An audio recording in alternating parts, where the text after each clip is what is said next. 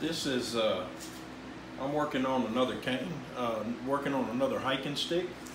And uh, this is cedar that I'm working on today.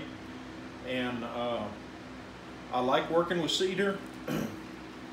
I haven't let it dry out enough, but uh, I've had pretty good luck with it, uh, working with it even though it's kind of green. And uh, I haven't had any issues yet with it cracking and stuff. Here's a, a couple of more that I made over here uh, out of cedar. And I'm just kind of, I'm just getting it, the bark off of it and stuff today.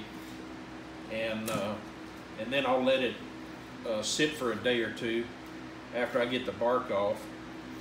Really, you're supposed to use uh, dead wood uh, that you find in the woods and stuff. And uh, I haven't been that fortunate. Uh, I need to find a place uh, where I can go scout for my own uh, wood. this, a neighbor has a deer lease and he brought me these cedar limbs from his deer lease. And I didn't know how it was going to be since they were green, but I have really grown to love uh, working with cedar and uh, really like it. But I've got to get out there and find a place myself to where I can get some other uh, varieties of wood and locate some uh, dead wood that's already on the ground uh, that's of course not rotten or anything but uh, uh, that's the best is uh, working with the dead stuff. Not only does the bark come off easier with the dead stuff, but uh, it's just ready to carve, and uh, it's it's a lot easier to carve on, wood burn on, and that's pretty much what I do. Uh, I like to carve some stuff on it, like to kind of mix it up and uh, uh, do some wood burning on it also.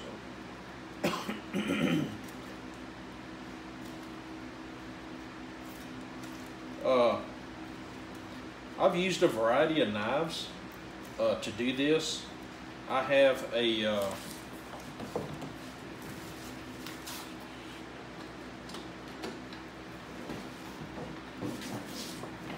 I also have an Opinel uh, this is a uh, nail number 9 and uh, it works really good uh, stripping it off. But uh, I got this uh, this is just a Rough Ryder Rough Ryder brand Hawkbill knife. And this really works great. It's got the micarta handles on it and so with my nitrile coated gloves and stuff it uh, it does a really good job uh, taking this off. Uh, a lot of people use the draw knives which uh, that's basically what they're made for and would probably do a lot better job uh, than what this is doing. But uh, that's basically what a draw knife is for but I've been having real good luck with this Hawkbill and I love it. So I think I'm just going to stick with this. Uh, really like the job it's doing. And uh, so I think I'm just going to stick with this and continue using it. But this is the part that's I guess you would say not so much more fun. It's, uh, of course, the designing is, uh, I think is the best part. But uh, I enjoy making these hiking sticks and stuff. So, I mean, I like it all.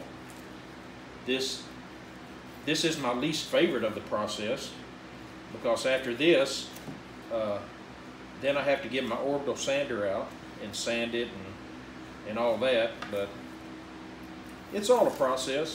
Uh, I enjoy all of it. I just like the carving and the uh, wood burning the best. That's the most fun to me.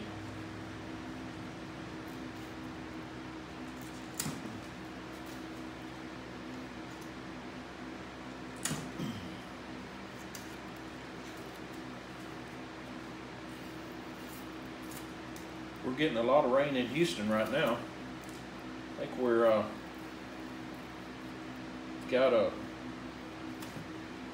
some rain out in the Gulf that uh, may turn into a tropical storm, looks like, a little bit early.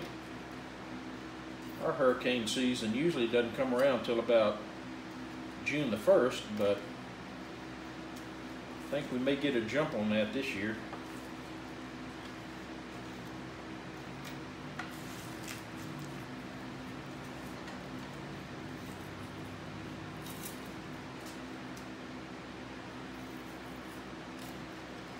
But if you're interested uh, in doing canes or hiking sticks, I call mine hiking sticks uh, just simply because I like the taller ones. Uh, I like them all between four and a half and five foot tall. Uh, I guess, kind of like a shepherd staff uh, type height. I just like those better. Uh, and plus, I think the uh, the regular canes, I don't think they would look as good with as much stuff as I like to put on them. Uh, I like to put outdoor related kind of stuff on them and uh, you know, a lot of the canes that uh, I, I, guess an older person would use. Uh, older person, I'm, I'm 64, I'm old, but uh, like uh, if they were like in a nursing home or, or something like that, I don't know if they would want to be walking around with a cane with uh, a carving of Bigfoot on it.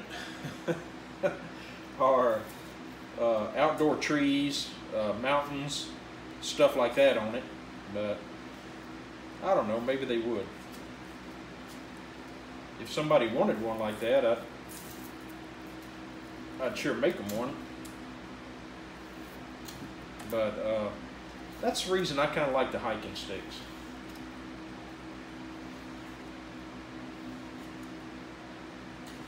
But anyway, I just thought I'd get on here a minute and uh, show you kind of the beginning process of uh, getting all the barking stuff off. Like I say, a dry one would probably be much, much easier. All I've ever worked with this year has been the green cedar. So it's kind of a process to get that stuff off. But uh, and I don't worry about having them straight, like straight as an arrow or anything like that. Uh, I kind of like the deformities in them. I've got a, uh, a, a, real good wood rasp and if there's something uh, like I'll take these uh, knots where the limbs were and uh, file these off and, and make it straight as far as that goes but I kind of like the uh, I kind of like the curvature in them, and uh, every, that makes everyone unique.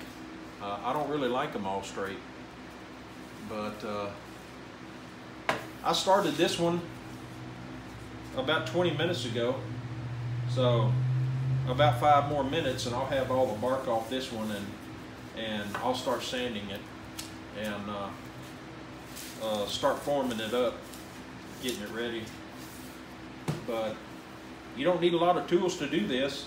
If you've got an orbital sander for other woodwork, you're pretty much set up. Uh, now I do have a uh, I do have a carving station over here. Uh,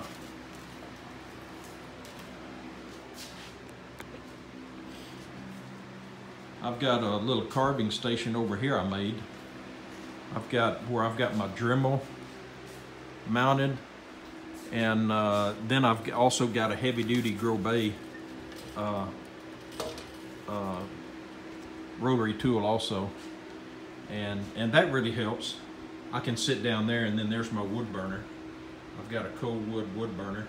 And uh, but that really helps. Uh, I just finished this one uh, the other day.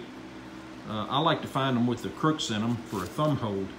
That is really handy uh, helping you get up or something like that. This one I hadn't finished from here down to here just above the first leaf I'm going to wrap with black paracord uh, or some color. I, I like black better. And then uh, uh, this is one I just did. I put some uh,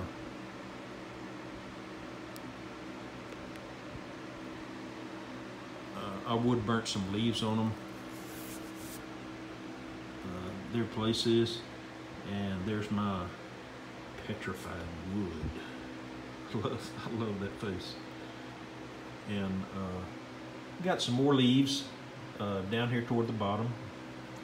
Oak leaves sumac leaves. And then on the other side I've got old man kickstand. That's that fits me perfect. I need a kickstand sometimes. And there's another leaf down here on the bottom. And uh, got some leaves up here on it too up here at the top and uh, that's that one. And then here's one I did here a while back. This is my uh, this is my trump stick. I just use regular rope on this. Uh, you know, there's no telling you get out in the woods and, and you might need something stronger. And this is uh, this is three strand rope. So not only do you have this much, I didn't measure it, uh, coiled around uh, on the handle, uh, if you needed that in an emergency, you can take that off and then separate those three strands and then you could have rope uh, three times the distance of this. And this is this is long too that I put on here by itself. I kind of put some leaves, carved some leaves on that.